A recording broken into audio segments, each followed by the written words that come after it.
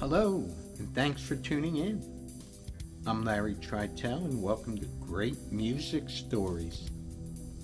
This is the story of the very much loved song made famous by Arlo Guthrie called City of New Orleans. The song was written in 1971 by singer songwriter Steve Goodman. Goodman saw Arlo at a bar in Chicago, walked up to him and asked him if he could sing him a song that he wrote. Guthrie said, Yeah, if you buy me a beer, you can play me your song as long as it takes me to drink this beer. Arlo liked the song so much he decided to record it. Goodman wrote this song while riding with his wife on the Illinois Central train.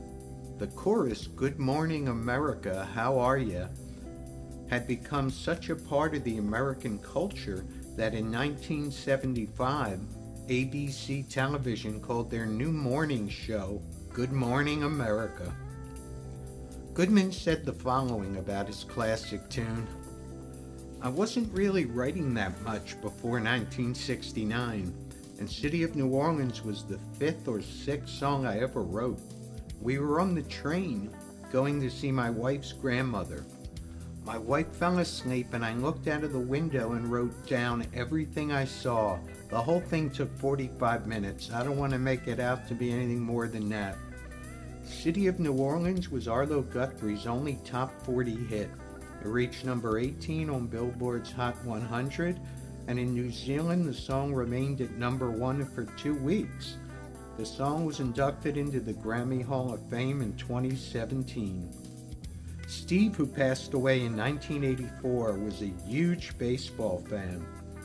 So much so that he also wrote the Chicago Cubs fight song, Go Cubs Go.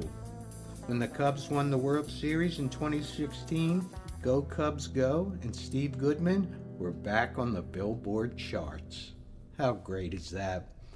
I hope you enjoyed this story. Till next time, remember what the great Ian Anderson said Life's a long song, but the tune ends too soon for us all.